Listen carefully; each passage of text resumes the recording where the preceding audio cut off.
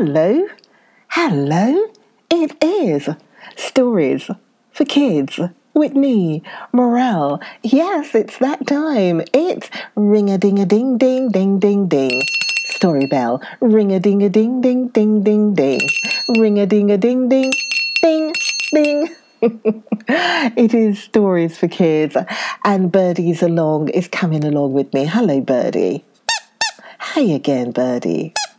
Okay, good to have Birdie, and I hope everyone's fine. I hope you're all fine and that you are sitting comfortably and now waiting for me to begin this story.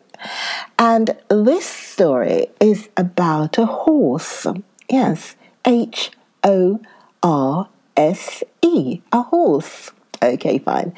Let me begin the story about the horse.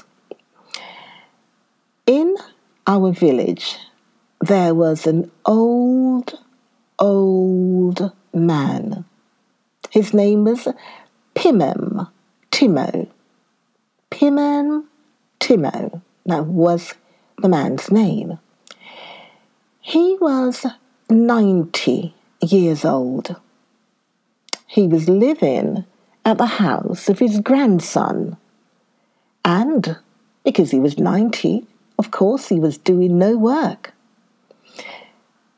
Pimen Timos, the old man, his back was bent. He walked with a cane and moved his feet slowly. He had no teeth at all, and his face was wrinkled. His lower lip trembled when he walked and when he talked.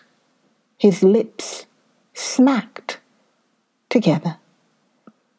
And one could not understand what he was saying. Now, we were four brothers, and we were fond of riding. But we had no gentle riding horses. We were allowed to ride only on one horse. The name of the horse was Raven. One day, Mamma allowed us to ride, and all of us went with the manager to the stable. The coachman saddled Raven for us, and my eldest brother was the first to take a ride. I mean, he rode for a long time. He rode to the threshing floor and around the garden. And when he came back, we all shouted, Now, gallop, gallop past us my elder brother began to strike Raven with his feet and with the whip, and Raven galloped past us. After him, my second brother mounted the horse. I mean, he too rode for quite a while, and he too urged Raven on with the whip and galloped up the hill. He wanted to ride longer, but my third brother begged him to let him ride at once. My third brother rode to the threshing floor and around the garden and down the village and raced uphill to the stable. When he rode up to us, Raven, the horse, was panting, and his neck and shoulders were dark from sweat. When my turn came, I wanted to surprise my brothers and to show them how well I could ride.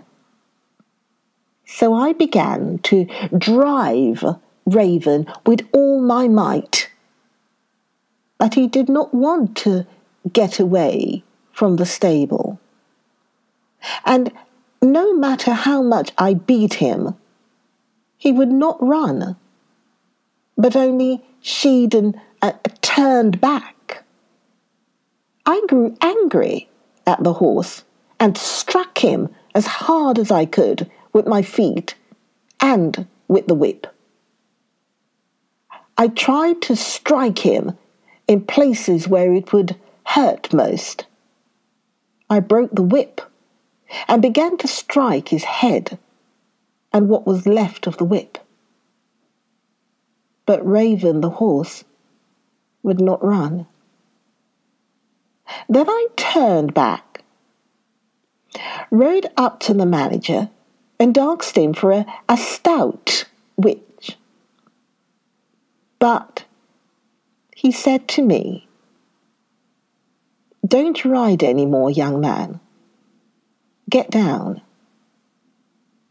What use is there in torturing the horse?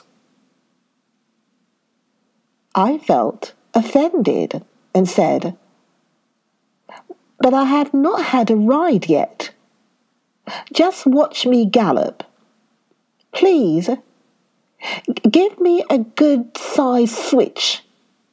I will burn him up. Then the manager shook his head and said, Young man, you have no pity. Why should you burn him up or heat him up?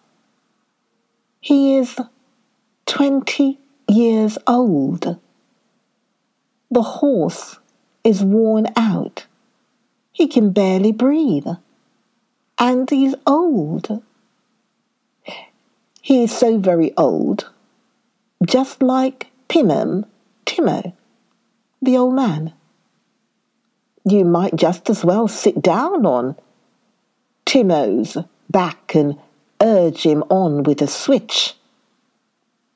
Well, would you not pity him? I thought of the old man, Timon, Timo, and listened to the manager's words. I climbed down from the horse, and when I saw how his sweaty sides hung down, how he breathed heavily through his nostrils, and how he switched his bald tail, I understood that it was hard for the horse. Before that, I used to think that it was as much fun for him as for me. I felt so sorry for Raven that I began to kiss his sweaty neck and to beg his forgiveness for having beaten him. Since then, I have grown.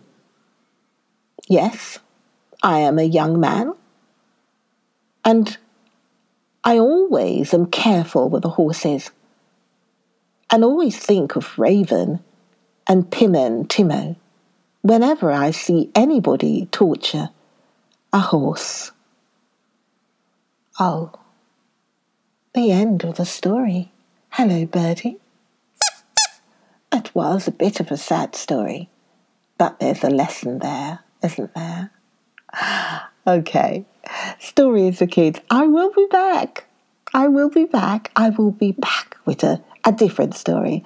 I will be back soon. So look out for the next video and be good. Be very, very good. I'll see you then. All right. Okay. Bye for now. Bye.